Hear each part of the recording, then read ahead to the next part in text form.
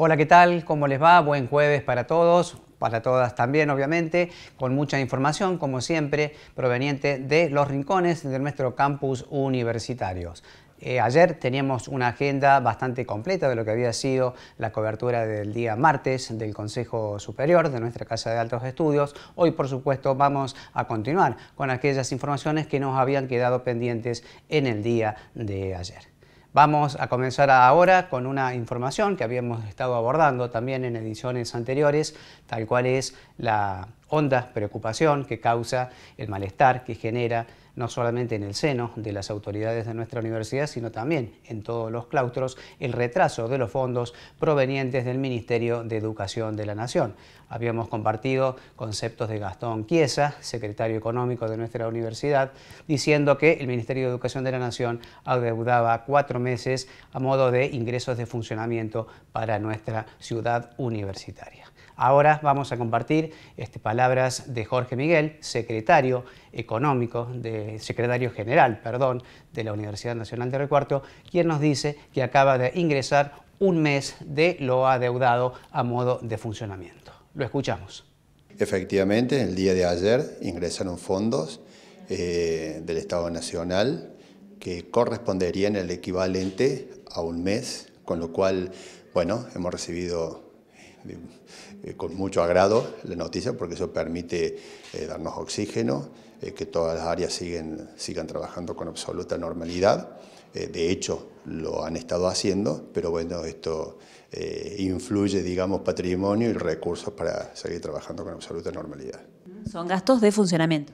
Son gastos de funcionamiento, es decir, no ha habido y este, estimamos que no va a haber inconvenientes con lo referido a, al concepto de sueldos y retribuciones, estos se aplican precisamente o se imputan a gastos de funcionamiento. Se presentó un informe recientemente de la situación económica de la universidad, es bastante preocupante. Bueno, ¿cómo continúan las gestiones más allá de que haya ingresado este monto? Exacto, bueno, en primer lugar, después del trabajo de relevamiento de datos que se hizo desde el momento en que se tomó la gestión, bueno, a continuación se informó al Consejo Superior sobre la situación, lo que generó eh, el dictado de una resolución de Consejo Superior manifestando esta preocupación y bueno, como consecuencia de las gestiones que se vienen haciendo día a día, es que entendemos que ayer se produjo eh, la transferencia de estos fondos. De todas maneras, continúan las gestiones para que se pueda normalizar totalmente el ingreso de fondos. Por supuesto, la idea es concretamente que la normalización implica de que se hagan los depósitos mes a mes teniendo en cuenta de que el efecto inflacionario tiene su papel también en esta situación, de modo que la normalización implica de algún modo evitar los riesgos y las consecuencias que provoca la inflación. Por último, secretario, ¿cuál es el monto que ingresó? El monto que ingresó aproximadamente es de 85 millones de pesos. Ahí acabamos de compartir entonces los conceptos esclarecedores de lo que es la deuda acumulada este, que tiene el Ministerio de Educación de la Nación respecto a nuestra Casa de Altos Estudios. Ahora nos vamos este, a trasladar a lo que es el Departamento de Vinculación Tecnológica, Vinculación y Transferencia Tecnológica, así se dice, de nuestra Casa de Altos Estudios, que dirige este, Marco Targueta. Habíamos estado también este, charlando con él acerca de una charla taller que se había abordado el día martes. Hoy nos comenta una convocatoria abierta hasta el 30 de junio para un proyecto denominado Potenciar tu proyecto científico tecnológico. Lo escuchamos. Está abierta la convocatoria UNRC Startup en su tercera eh, edición hasta el fin de mes, hasta el 30 de junio. Hay tiempo para aplicar proyectos de base científico-tecnológica que tengan como propósito generar una empresa de base tecnológica, una startup y eh, a partir de esa convocatoria lo que hacemos es generar un proceso de asistencia que cuenta con una serie de servicios, también un acompañamiento desde el punto de vista económico, vinculación con fondos de inversión, eh, entrenamiento en, procesos de, pitch y de presentación de, proyectos. Bueno, una serie de, servicios que lo que hacen es darle valor al proyecto para que una vez transcurrido ese proceso de incubación estén en mejores condiciones de las que ingresaron. ¿A quién está destinado? Está destinado, a, es, es abierto, eh, tienen una valoración positiva aquellos proyectos que surjan de tecnologías vinculadas a nuestra universidad, pero es completamente abierto.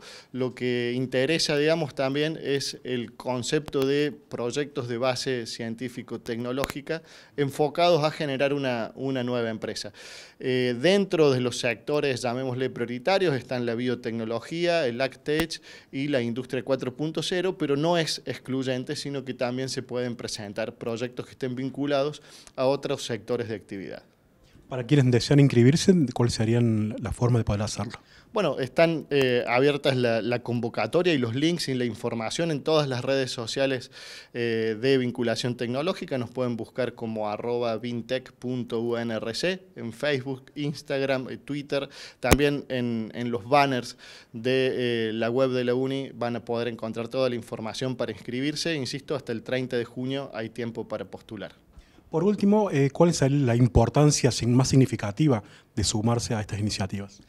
Bueno, normalmente hacemos eh, una tarea de valoración de, todas las actividades de incubación y la vinculación con otros actores del ecosistema es algo muy valorado, el asesoramiento que se, que se recibe, el poder tener contacto directo con fondos de inversión y con actores que eh, una vez transcurrido el proceso de incubación toman la posta y siguen para eh, darle más valor a ese proyecto en la etapa siguiente. Hoy, 15 de junio, se conmemora el Día Mundial del Maltrato contra las Personas Mayores. Día Mundial de Toma de Conciencia del Abuso y Maltrato a las Personas Mayores es este, el nombre completo de la fecha que estamos conmemorando precisamente hoy, día 15 de junio. Para ello, dialogamos con Rosa Catana, coordinadora del Observatorio de los Derechos Humanos de nuestra institución, quien nos decía lo siguiente. Hoy es el día de la toma de conciencia por el maltrato y el abuso a las personas mayores.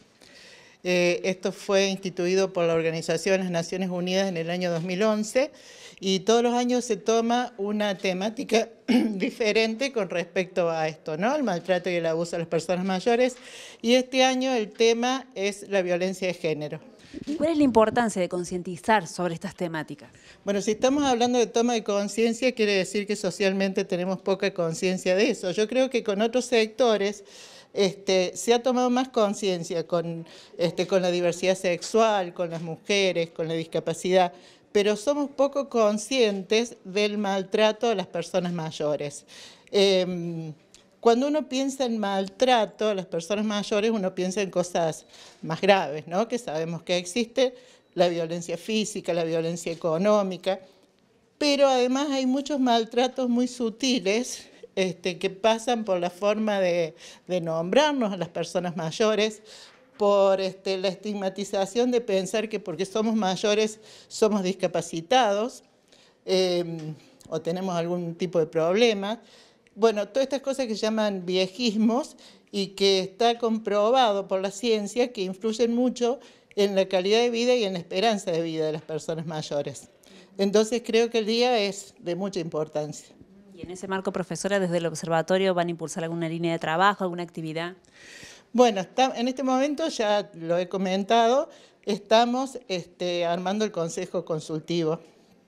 Em, dentro del Consejo Consultivo está precisamente la organización donde yo, de donde yo provengo de la militancia, que es Arrugas Más, Arrugas Menos. Sé que se va a sumar el ILI, algunas organizaciones que trabajan el tema de las personas mayores y seguramente lo estaremos trabajando. El tema de la violencia de género, que es lo que se trabaja este año eh, con las mujeres mayores, es un tema también muy invisibilizado. Cuando uno piensa de violencia de género, uno piensa en la violencia sobre cuerpos jóvenes, sobre cuerpos esbeltos y no sobre los cuerpos deteriorados de las viejas. Eh, y es un tema, este, si uno mira las estadísticas de femicidios o de denuncias, es un tema muy importante. Además, en las mujeres mayores, Em, tiene algunas características particulares, como que se suman algunos otros agresores, como los hijos, los nietos, eh, sobre todo en lo que refiere a violencia económica o a violencia psicológica. Vamos a hablar ahora de los programas de movilidad estudiantil Oportunamente en distintas ediciones también de Unirío TV Noticias hemos estado haciéndole notas a los chicos, tanto que se iban hacia otros países como aquellos que venían a visitar nuestra institución. En horas este, del mediodía este, Rosana Malpasi, quien es la responsable de la Secretaría de Posgrado y Cooperación Internacional de nuestra universidad, le dio las despedidas a aquellos estudiantes que estaban justamente haciendo trabajos de cursado y de investigación en nuestra Universidad Nacional de Río Cuarto. Escuchamos lo que nos decía Rosana Malpasi. Estos chicos han venido en el marco de intercambios de pila, de criscos, de Arfitec y de Arfagri y también un convenio especial que tiene la Facultad de Agronomía y Veterinaria con la Universidad de Chapingo. ¿De qué mm, países son? Tenemos varios latinoamericanos de México, Perú, Colombia y también eh, tenemos estudiantes franceses. Recién escuchábamos eh, las valoraciones que hacen cada una de las actividades, están todos muy contentos. Sí, es sumamente gratificante encontrarlos en este momento en que se van cargados de experiencias, experiencias en la mayoría buenas, algunas no tan buenas, pero que todo hacen al crecimiento personal de cada uno. Y en este sentido, secretaria, usted como responsable del área de posgrado y cooperación internacional, eh, ¿qué destaca de estos programas de intercambio? ¿Qué le diría a los estudiantes que están pensando en la posibilidad de participar? Que no lo duden, que es una experiencia sumamente rica, que vale la pena eh, hacerse un paréntesis en la carrera y venir a estudiar a otro país, en este caso nos toca a nosotros, pero que no solamente se van a ir cargados de conocimientos específicos de su carrera, sino en todo lo relacionado a lo social, al conocimiento de, una cultura que no es la propia. Eh, realmente es una experiencia muy valorable último, profesora, para el segundo semestre ya están confirmados los chicos que van a venir. Algunos programas ya tienen algunos estudiantes confirmados, otros están en proceso. Específicamente nosotros estamos en proceso de seleccionar, por ejemplo, los estudiantes que van a viajar en el marco de pila. Bien, Acabamos de compartir entonces lo que fue la, secuela, las consecuencias del almuerzo de trabajo que mantuvo este, Rosana Malpasi, secretaria de posgrado y cooperación internacional junto a otras autoridades, con aquellos estudiantes que acaban de finalizar sus trabajos de investigación en nuestra Casa de Altos Estudios. En el segundo bloque, después de una breve pausa institucional, estaremos con más temas, con más de estos proyectos de movilidad estudiantil, en este caso pertenecientes a la Facultad de Agronomía y Veterinaria. Pausa, ya retornamos.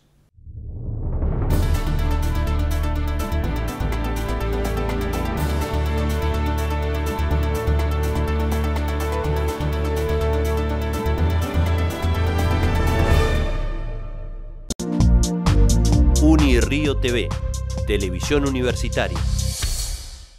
Viaja a Mendoza, Salta, Chubut, Villa Gesell. A donde vayas, viaja seguro. En el micro también usa el cinturón de seguridad. Ministerio de Transporte, Argentina Presidencia. ¿Qué transporte urbano tenemos? ¿Qué transporte local necesitamos? Encuesta en línea sobre las experiencias y percepciones de la comunidad universitaria sobre el sistema público de transporte urbano. Si sos estudiante, graduado, docente o no docente de la UNRC y usas el transporte urbano, te invitamos a responder la encuesta sobre el actual funcionamiento del sistema de transporte local. Completa el formulario ingresando al CISINFO en la sección Formularios. Completarlo no te llevará más de 12 minutos y con tu respuesta podés contribuir a mejorar las condiciones locales del sistema de transporte urbano. Compartí la encuesta con tus compañeras, compañeros, colegas y otros miembros de la UNRC.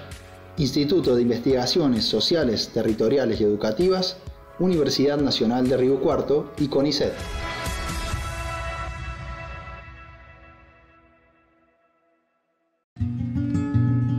Enteraba cuando aparecía algún nieto, seguía la noticia. Ni remotamente se me pasó por la cabeza que eh, podía yo estar en ese lugar en algún momento. Encontrar un armado fue un, impacto fuerte.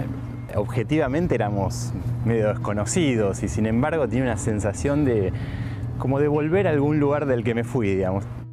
Si dudas de tu identidad ¿O crees que alguien puede ser hijo de desaparecidos? Comunicate con Abuelas 011-4384-0983 abuelas.org.ar No los dejemos con la duda.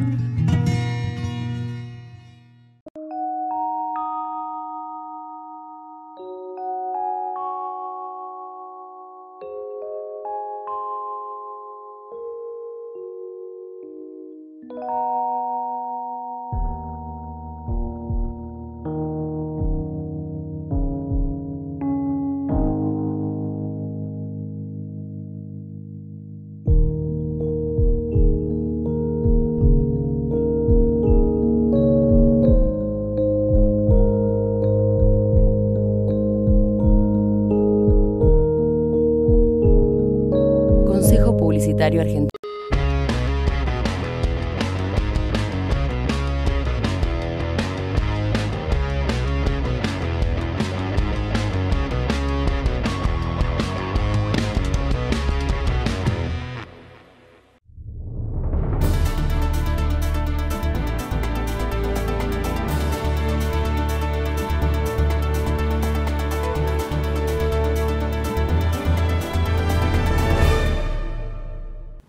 Continuamos en este segundo segmento informativo de Unic Río TV Noticias, tal cual lo habíamos adelantado. Vamos a proseguir hablando de los programas de movilidad estudiantil, en este caso específicamente en la Facultad de Agronomía y Veterinaria.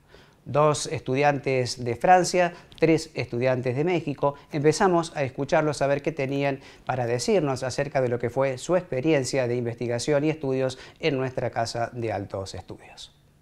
La experiencia fue muy bien. Eh, eh, estaba acá para mm, estudiar eh, medicina veterinaria en los grandes animales.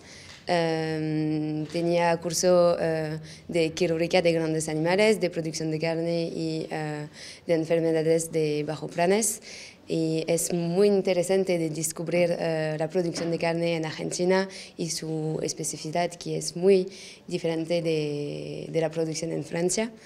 Y sí, y los uh, gentes que descubrieron acá está muy, muy, muy genial, sí, todo, todo está genial. ¿Por qué elegiste Río Cuarto? ¿Por qué elegiste Argentina para este intercambio? Eh, en mi escuela em, tenemos que elegir, em, no, tenemos que elegir porque no es obligatorio de hacer un intercambio, entonces es mi, eh, es mi decisión de hacer ese, pero puedo elegir eh, un país en Europa o en Latinoamérica. Y en Latinoamérica tenemos intercambios con Brasilia y Argentina. Y elige a Argentina porque eh, hablo, español, y no, hablo, no hablo portugués, entonces está, está un poco mejor para, para mí de, de, venir acá. Y em, quiero eh, hacer... Eh, medicina de grandes animales en Francia. Entonces es muy interesante de descubrir Argentina porque Em, sabía eh, que la producción de carne acá está muy, muy importante. Ahí estaban entonces los conceptos de Leila Grava. Vemos la pantalla así porque son muy difíciles de recordar los nombres de todos los estudiantes. Vamos a seguir ahora con chicas provenientes de Francia. En este caso vamos a escuchar lo que nos decía Clyde Lefreu. Eh, era una experiencia muy interesante, aprendí muchas cosas muy distintas de lo que hacemos en Francia. Eh, estoy estudiando veterinaria y acá practicamos mucho y es muy interesante de hacer eso porque en Francia no podemos practicar tanto. Entonces eso para las clases era muy interesante y también encontramos los argentinos y los, la gente de los otros países también, los mexicanos por ejemplo que están al lado y, y, encontramos sí, muchas personas de otros países que con estas personas disfrutamos de, del tiempo, hablamos de nuestra cultura muy distintas y era una experiencia muy rica. ¿Y con el contacto con los profesores, por ejemplo, cómo fue? Eh, los, todos los profesores eran eh, muy acogedores con nosotros, eh, estábamos como las pequeñas franceses y en clases todos eh, eran muy simpáticos con nosotros, explicaron bien, hablaban eh, al principio lento para que podamos entender porque cuando llegamos en febrero no teníamos un español perfecto y entonces todos eran muy simpáticos y nos trataban como los argentinos pero con un, como un toque más de como algo más para que nosotros nos sentimos bien acá en Argentina y en las clases. Y ahora cuando vuelvas a Francia, ¿cómo sigue tu formación? Eh, me falta un año en Francia em, para, para recibirme, para hacer mi tesis y hacer un año más de práctica y al fin voy a ser veterinaria. Y entonces eso es mm, casi el fin de mis estudios. Hace siete años que estoy estudiando después del secundario para ser veterinaria y entonces voy a terminar en un año.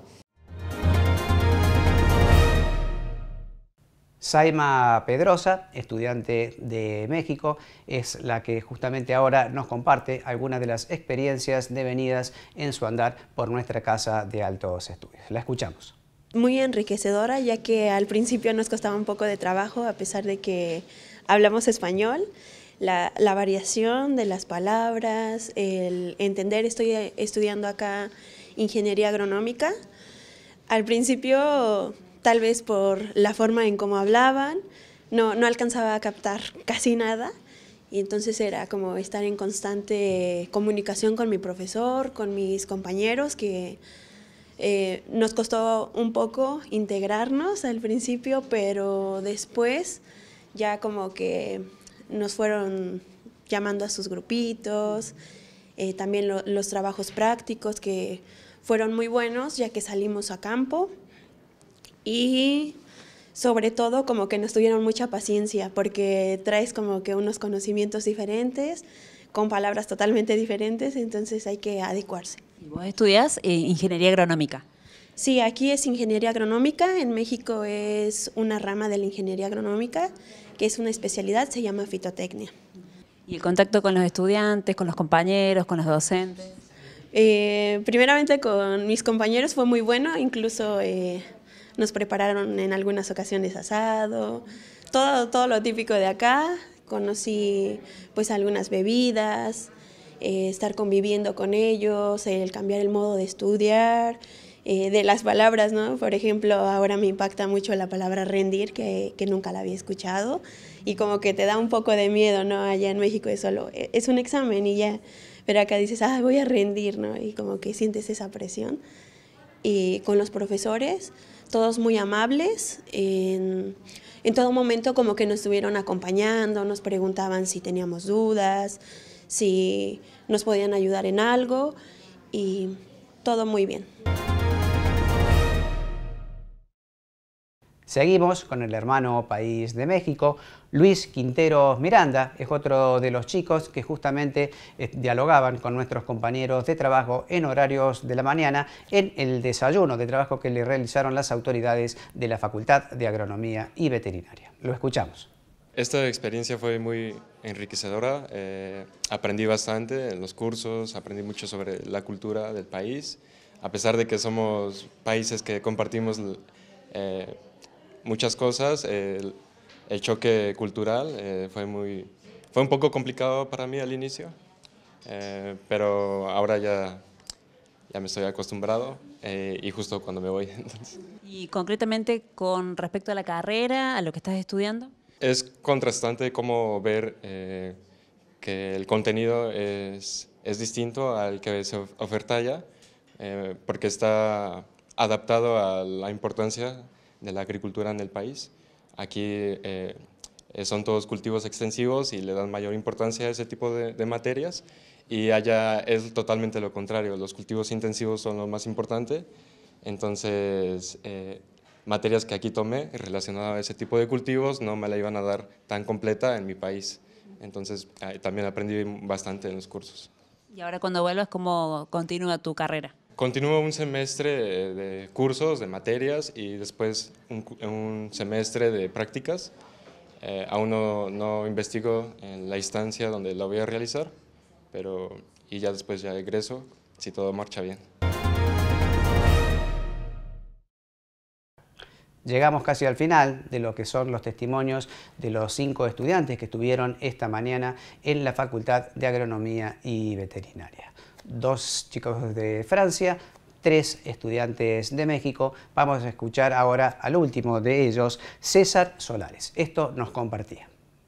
La experiencia del intercambio ha sido algo muy enriquecedor desde, desde una evolución, digamos, humana nuestra, adquisición de nuevos conocimientos, eh, adaptación a una nueva cultura, porque a pesar de que antes de venir aquí nosotros habíamos investigado un poco sobre el país, eh, fue completamente distinto. Es muy distinto cuando uno lo investiga a vivirlo. Entonces, eso, eso ha sido muy, muy bueno. Yo creo que, o yo espero en mí, en lo personal, me ha beneficiado como persona el conocer nueva gente, nueva cultura, nuevos este, alimentos, platillos, nuevas palabras y nuevas enseñanzas. Un método diferente al que estaba acostumbrado a mi país, bueno, a mi universidad ha sido muy distinto. Creo que me enamoré de muchas cosas, por ejemplo del mate. El mate fue algo muy bonito que me gustó de este país. De, a nivel educativo, los maestros pues siempre nos trataron muy bien, siempre hubo una coordinación de los temas, muy bien este, estructurado cada uno de ellos. Me encantó mucho que existieran no solamente un profesor, sino que fueran varios, entonces, había muchos puntos de vista distintos y eso creo que me ayudó mucho a poco a poco este, entender las materias que fui cursando. Y ahora cuando vuelvas a México, ¿cómo sigue tu trayecto de formación? Bueno, pues académicamente me faltan dos años de carrera y, bueno, aún hay algunas materias que tengo que este, completar ahí en, mi institución, pero dentro de lo que cabe, creo que aquí he adquirido eh, una nueva visión, algo distinto, hábitos de estudio distintos que me han ayudado mucho. Entonces, pues creo que todo eso va a contribuir mucho a que una vez que llegue allá pueda avanzar más rápido y mejor. Las experiencias de intercambio en la Facultad de Agronomía y Veterinaria tanto en esta unidad académica como en cada una de las restantes, va a continuar en la agenda informativa de lo que es Unirrío TV Noticias. Por lo pronto, esto es todo por hoy. Los esperamos mañana con mucha más información. Recordamos, día viernes, cambio de abanderados a las 15.30 en el aula mayor José Alfredo Duarte de nuestra Universidad Nacional de Río. Será hasta mañana entonces.